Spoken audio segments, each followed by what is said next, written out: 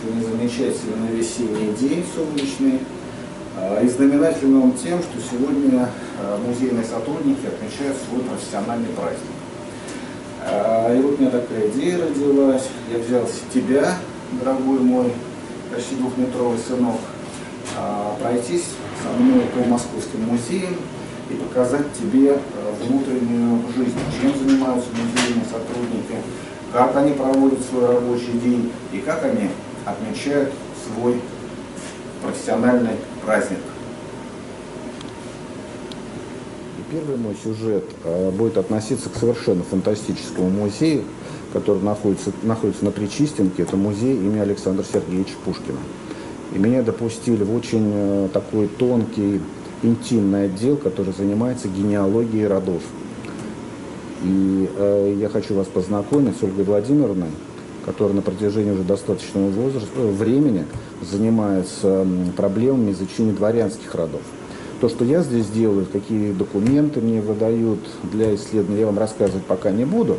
А мы сегодня поговорим э, в общем об этом замечательном отделе.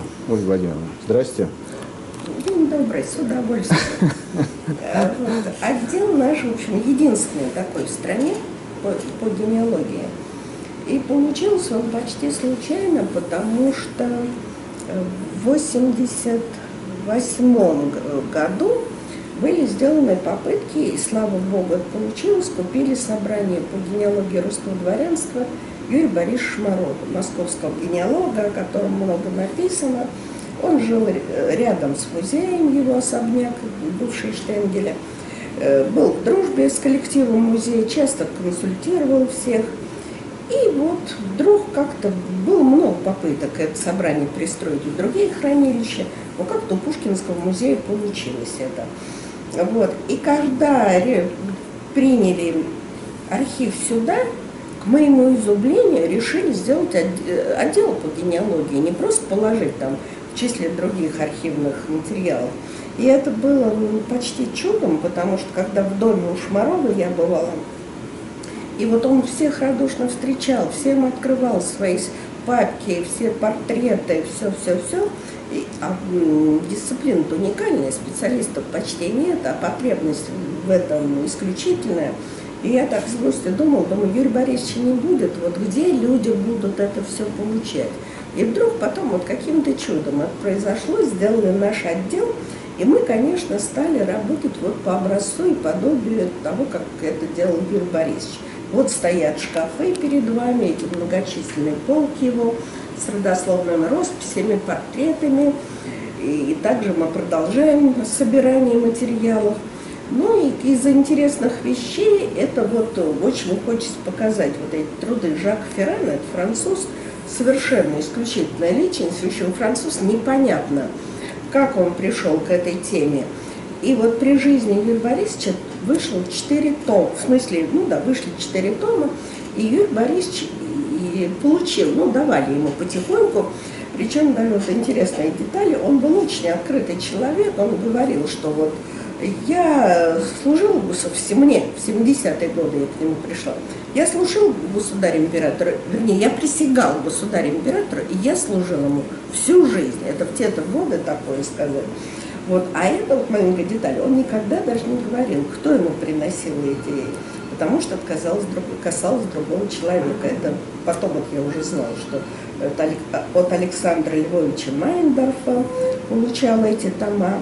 И вот он, и он, ему давали на время, он переснимал все вот эти портреты из этих книг и ставил в эти свои папки, в, в, э, все в, в четком алфавите. Это, но иметь в те годы Феррана, это ну, был единственный в Москве четыре тома Майндорфа.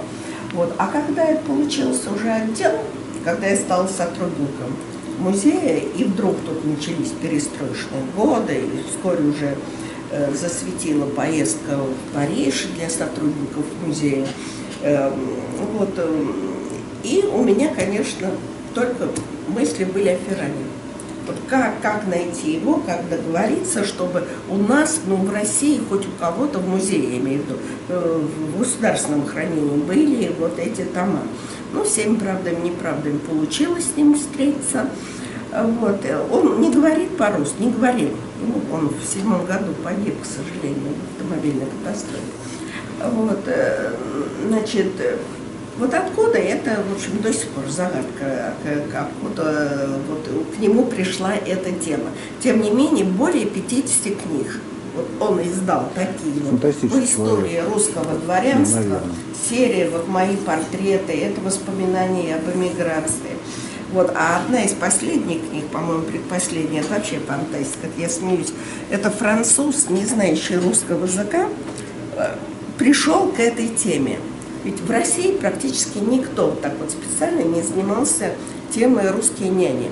А это же явление, это ну, жемчужинка в истории русской культуры, потому что все наши классики вышли из этого. И через няню вот это вошли в традиции русской э, национальной культуры.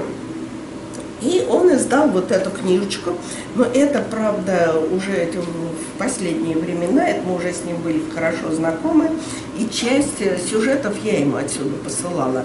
Э, Ксерил из разных книг, там из Бердяева, из воспоминаний об Александре Третьем, я уже сейчас не помню, от Трубецких. Э, И отсылали, вот он быстро очень все делал, он, ну, что нравится мне, не мудрил, как наши издатели, там вот это вот все вычищать, все эти, всех блох ловить. Он собирал материалы, хоп, и моментально все это сдавал. А открыточка это она использовала, это рисунок великой княгини Ольги Александровны под Куликовской. Вот это в эмиграцию кого-то из наших представителей потом русских иммигрантов получил.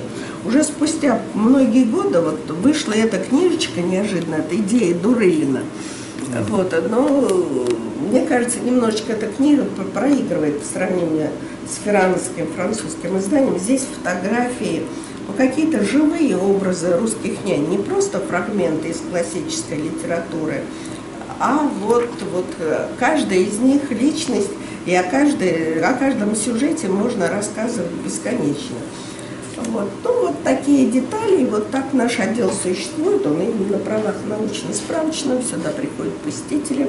В основном э, или занимаются историей своих родов, или наши коллеги из других музеев, э, исторического музея Третьяковского, из других музеев, естественно, наши ближайшие коллеги пушкинские, все музеи рассыпаны по стране. Ну и для колорита нашей темы, вот к, к нашему великому восторгу, из фондов нам дали на сохранение, висит у нас это изумительный оригинал Жуковского Станислава Юрьевича, это этюд, в смысле, это сюжет э, брасовский, это где-то в 16 по-моему, примерно году, когда жена великого князя Михаила Александровича заказала эту серию картин Жуковскому, он туда приехал и рисовал. И они считаются одни, одними из таких ну, парадных, великолепных работ э, Жуковского. Хотя он их, может быть, и меньше любил, чем другие.